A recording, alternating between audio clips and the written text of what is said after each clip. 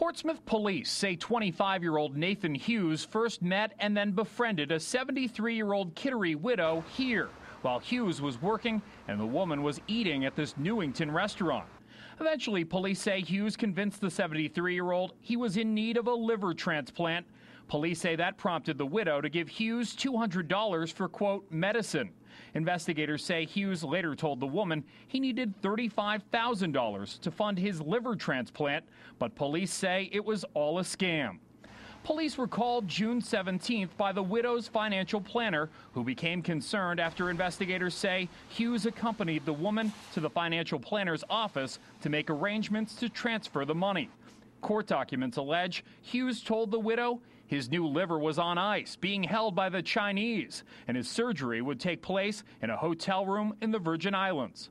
The documents also claim Hughes later told police God told him he needed a new liver.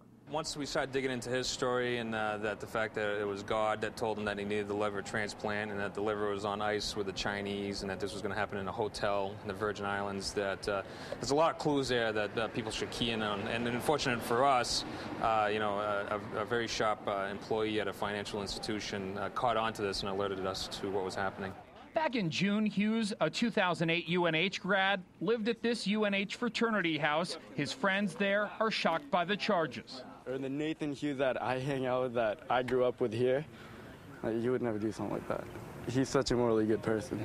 He would never hurt anyone. The charges are extreme. I don't know, if, and there's a lot of lot of things being said about him, and I think no one really knows the full story. And he's a good person. He's a good brother. I know he would do anything for anyone and it does not sound like something he would do. Hughes is set to be arraigned in Rockingham Superior Court on October 28th. Now, if convicted, he could face up to 15 years behind bars and a $4,000 fine. In Portsmouth, Mike Garrity, WMUR News 9.